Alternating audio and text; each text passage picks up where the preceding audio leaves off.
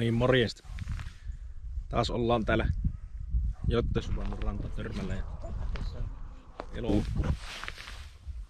24. päivä ja vesi on aika korkealla niin kuin näkyy. Puskissa menee se nousi tuossa muutamassa päivässä, muutamassa päivässä metrin kuulemma ja roskaa menee kyllä varmasti veessä, kun se on noussut nyt niin paljon. Mutta ei se mitään, lähdetään kokeilemaan. Täältä on tosiaan aika tiukassa ollut kalat, että tuossa oli listoihin ilmoitettu viisi päivää sitten viimeksi kalaa. Mutta sehän ei sitä sano, että sitä ei voi saada. Lähdetään tuota on muutama uusi testiväri tuossa perässä ja sitten on no perinteiset ottivärit. Tuossa on esimerkiksi yksi uusi testiväri, mikä lähtee. Semmonen violetti musta punaisilla pisteillä ja hoppeilla rannu.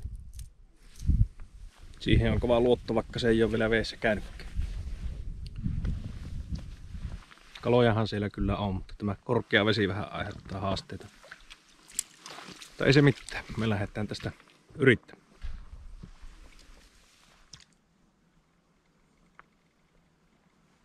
Alkas olleen makosa uinti tässä.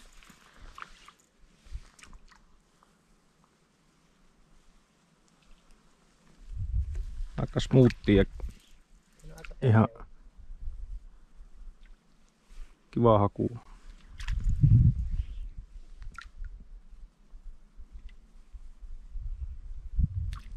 Joo.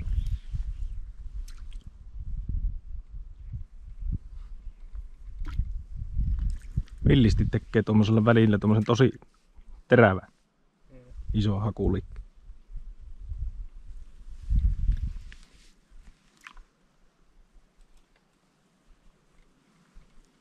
Se on siinä se salaisuus.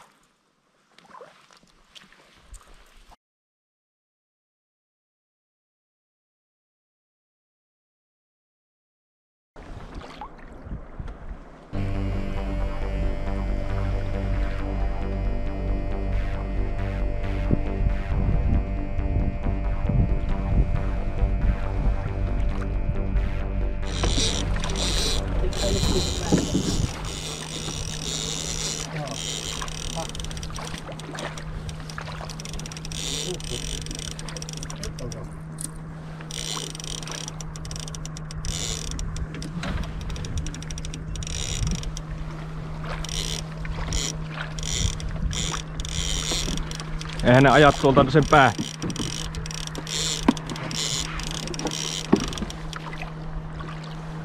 Jos ajavat Siimon päälle.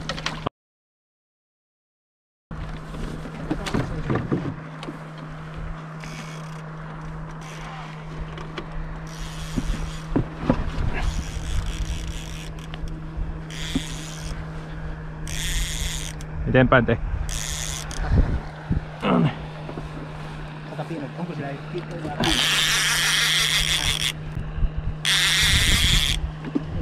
On.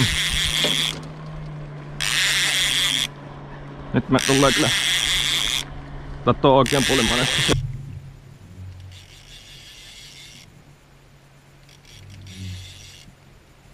Joo, ei tämä iso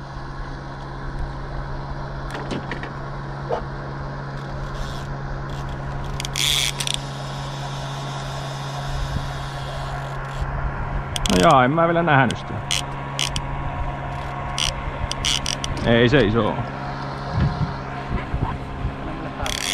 Otahan sinä se. Napatahan kyytiin.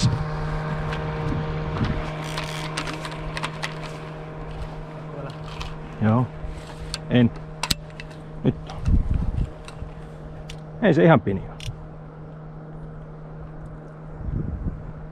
Pitääkö soutaa? Kovara. Ei se ihan pieni ole. Onhan se ihan komi. Koukkua. Koukkua. Koukku. Ja. Ei se ollutkaan ihan pieni. Ei se ollutkaan ihan pieni. Ei tämä iso. Tuleeko? Oota kun mä käännän pystyyn. Mikä se oli kielestä? Joo. Joo. Koukku siellä. Tuleeko se? Älä vee väkisi. Ei tuu vielä.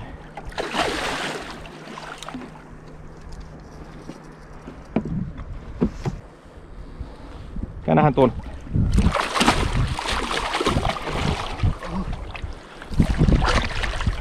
Oh, se ihan näin. Oho, no, otahan sinne. Miten se tuntui niin pienen? Kävi tuossa veneen vieressä, niin tuntui semmonen niinku tuntuu. semmonen pikku raviste. Niin. Mä että siellä venkuulle ja kato semmonen parin kilon kala. Ei se ollutkaan. Joo, siinähän vähän härvättiin, kun luultiin, että se on pieni. niin Niin. Mä että nostetaan se tuosta noin. Eipä nosteta. Ei sitä ihan nuuven nostettu. Oo, se näytti. Ei tää ihan kymppi. Ei se oo. Häh. Kyllähän se vähän aikaa sille temusi. Ja mikä sillä on poikittain suussa? Pieli. Mukakko pielik. Kasinka. On se ysi. Kas.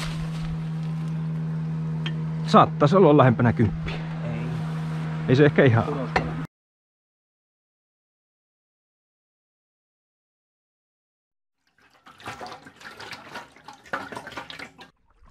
Täällä sitä souvella. Keskellä päivää. Keskellä suvantoa. Vähän ruuhkasta on, niin tultiin tänne rauhallisemmille vesille.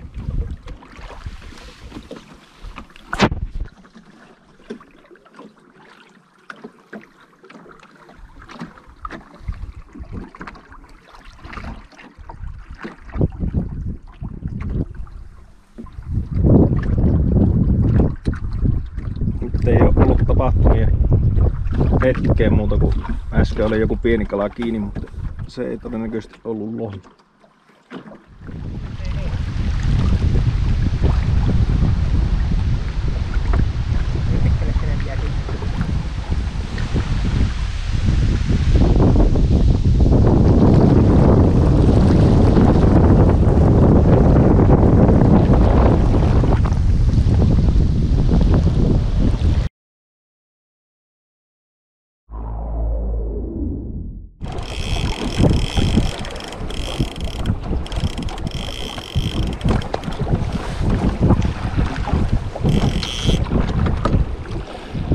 Pysykö kiinni?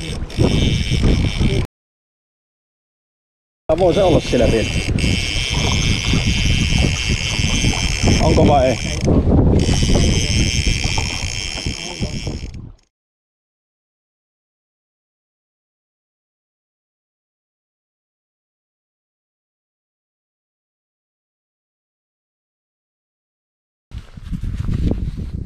Kello on vähän yli yhdeksän. Pari tuntia näkee vielä.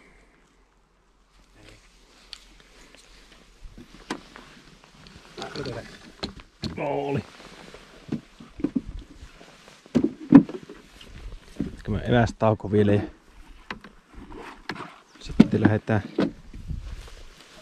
todennäköisesti kauan viimeisille laskuille. Komia on kyllä keli. Tuuli koko päivän tosi kovasti, mutta nyt illaksi se tyyni.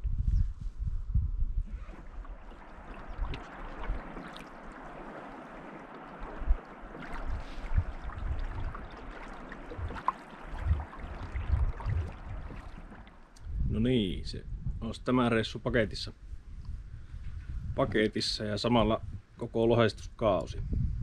Tuota, olosuhteet oli hieman haastavat tälläkin reissulla, että tosi korkealla oli vesi ja oli kovaa tuulta ja vesisaetta ja kaiken näköistä mahtuu. Oli myös kyllä hyviä kelejä, ettei sen puoleen. Yksi uroslohi saatiin menneeseen asti vajaa 9 kilonen ja yksi sitten karkuutus oli ja kaksi tärppiä, mistä ei varmasti osannut sanoa, että oliko ne lohia vai mitä ne oli. Ja, niin ja yksi iso ahven kanssa tuli. Ja, ja semmonen, semmonen tosiaan kauan osalta niin haastavia olosuhteita mahtui kyllä tähän kautta, että oli, oli tosi lämmintä helleen jaksoa, vesi lämpesi ja sitten oli näitä tulvia ja kaiken näköistä, mutta tuota, mukavaa oli silti. Kiitos vaan kaikille kanssakalastajille ja uusille tuttavuuksille ja vanhalle tuttavuuksille, jota nähtiin. Ja jatketaan näitä hommia sitten taas ensi kesäkuussa.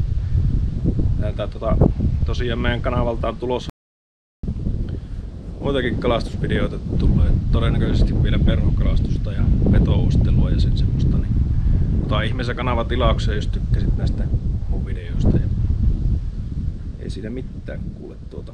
Kiitos kun, kiitos kun katsoit ja ensi kertaa.